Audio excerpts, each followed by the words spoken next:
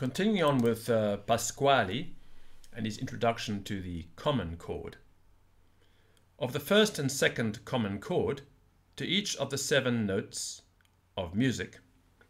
It is for expedition's sake, in other words, just to make life easier for himself and you and me and everyone else, that I call them first and second chords, instead of first and second way of common chords. And we'll see them shortly on the stave. The first is that which is naturally used to notes bearing this chord. The second is only brought in on some particular occasions, as hereafter shall be explained. But before we examine when the second chords are to be used, it is requisite to acquire a local memory of the first, and also a readiness of the fingers in playing them, for which purpose Lesson 1, see Plate 1, is to be practiced until the scholar plays it tolerably quick. And also, it will be advisable to play it as a general kind of prelude or as a kind of a general prelude, before the other lessons. Still, with a view of getting the habit of striking always the first chords, when no reason obliges to do otherwise. And, as I suppose that the unexperienced might be at a loss what fingers to apply to the chords, and to the notes of the bass, I have annexed in this and a few other. Lessons. A small figure to each for his introduction, and from thence he may form an idea of the rest. And of course, Pasquali's other famous work is The Art of Fingering the Harpsichord, which is all about this.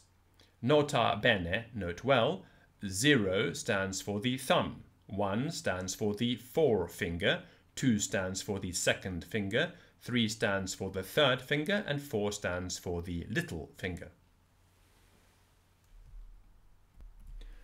When the scholar is become tolerably well acquainted with the way of fingering the chords and the bass notes, it will be necessary to practice the same lesson without the help of looking to the chords above the notes and peruse it as it is set in plate 13, which method must also be observed with regard to the other lessons, as soon as they are become a little familiar.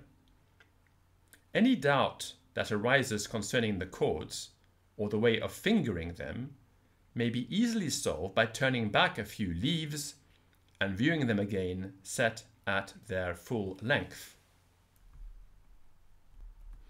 So now we have the first chord, the bass note being C.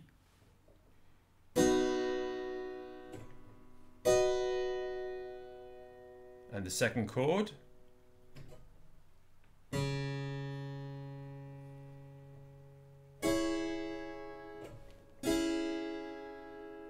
And the third chord.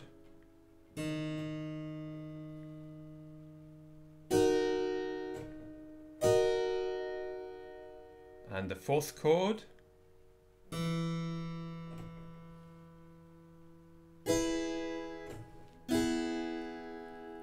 And the fifth example.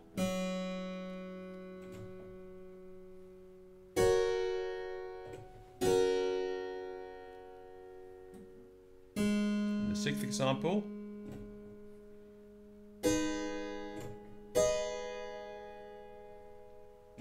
And the last one.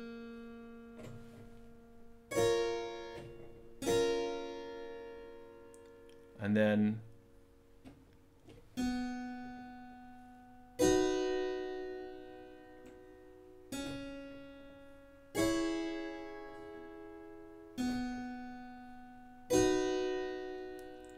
But instead of playing that, Pasquali prefers you to play this.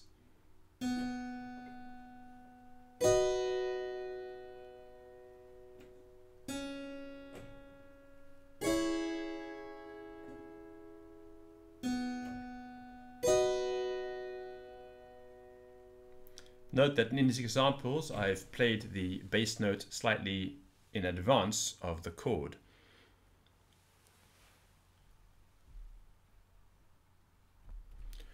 When the second chords are to be applied, the second chords are used for the following reasons. One, in order to avoid two consecutive or following octaves between the highest note of the chords and the notes of the bass. 2. In order to avoid two consecutive or following fifths between the highest note of the chords and the notes of the bass. 3. In order to render some chords more harmonious by their places. In order to avoid skipping too much from one chord to another. So just practical circumstances of not have your hand jump around. Of two consecutive or following octaves, and how to avoid them. It is disallowed in thorough basses to play two chords following one another whose highest note is the octave of the bass. E.g., by examining the first chords at 9, where the highest notes are figured, we shall find that only C and D fall under this rule, both having the octave for their highest note. So let's have a look at this. Here is C. And the highest note here is the octave. And D.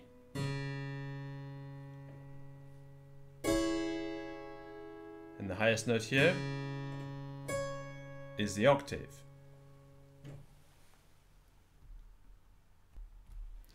Therefore, when C is found preceding or following D, instead of its first, its second chord must be played, by which the highest note of C's chord is changed from the octave to the third,